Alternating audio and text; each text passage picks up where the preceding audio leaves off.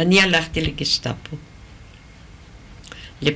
אה, איך קוראים? מנהל כוח אדם. שלחו אותי לבניין זה וזה, כל האבניו פוש היה גסטאפו. בניין זה וזה, ביקשתי.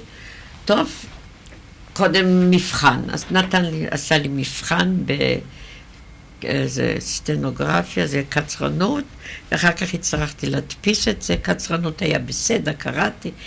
ההדפסה הייתה לאט קצת, אז אמרתי לו, אני הרבה זמן לא השתמשתי בזה, אבל זה...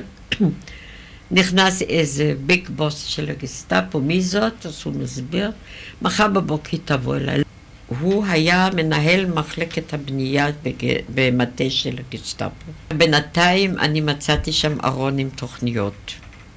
תוכניות די חשובות, מה שהם התכוננו לעשות במקרה שהיה מתחת לבואה דה בולון, אפשר להגיד עיר קטנה, עם פרוביאנט, עם הכל. ומאין את כל המקומות ששלחו את ה-V2, V1, V2, כל היסודות, הכל. אז זה אני העתקתי, והיה לי קשר עם איש הצבא של המלכה בלונדון. פגשתי אותו פעם בהולנד, מסרתי לו הכל, ומסרתי גם לקבוצה כמו ה knokploeg בהולנד, היה גם בצרפת משהו כזה מהקומוניסטים. גם שם מסרתי את הכל. רגע, את נסעת עוד אה, מפריס, נסעת להולנד? בטח. עצרו אותי שלושה איש עם אקדחים מכל צד, כאילו הייתי, אני לא יודעת מה.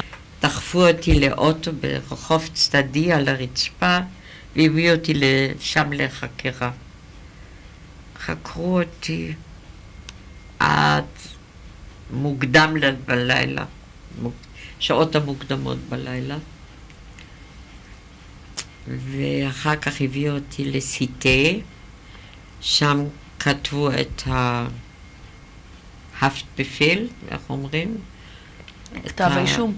כן, כתב אישום. זה היה, מה זה היה? הורפרד בגדיה... הכי גבוהה שיש. שמה? שפיונה... הוכפרט. הוכפרט, שפיונאז' ופנדסבתגünstigung. הוכפרט זה בגידה הכי הכי חמורה, שפיונאז' זה... כן, ריגול ועזרה לאויב.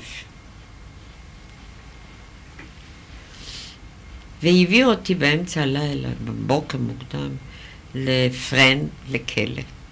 חזרתי מה... מאחת החקירות, אז הרופא חיכה לי, הוא חיכה לי, וטיפלו בי כל הלילה. באמת, זה היה טיפול ממדרגה ראשונה שקיבלתי. את יכולה באמת אה, לפני כן לתאר קצת את החקירה? לא היה נעימה. אם זה היה עם כל מה שידוע לך, מה שכותבים על זה, עם אמבטיה, עם תלייה, עם הכל מה שאת רוצה. אז שם ביליתי עד שהאמריקאים היו לפני פריז, ממש. הוציאו את כולם, חלק גדול. זה הרבה זמן. Hmm? זה הרבה זמן. שלחו את הרוב, ישבתי שישה שבועות. שלחו ישר לגרמניה, ואלה שהודו שהם יהודים, אחר כך אני כן הודעתי שאני יהודייה. אז uh, השאירו ולקחו אותנו, אספו אותנו לתאים ביחד עם אחרים, ואחר כך שלחו אותנו עם אוטובוס לדרנסי.